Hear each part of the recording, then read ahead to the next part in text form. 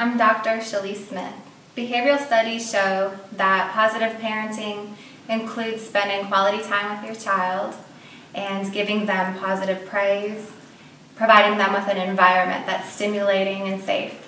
Playtime sheets can help you do that. It gives you an opportunity to give your child learning opportunities for interactive play at nighttime. You can give them praise, give them the positive attention that they really are looking for.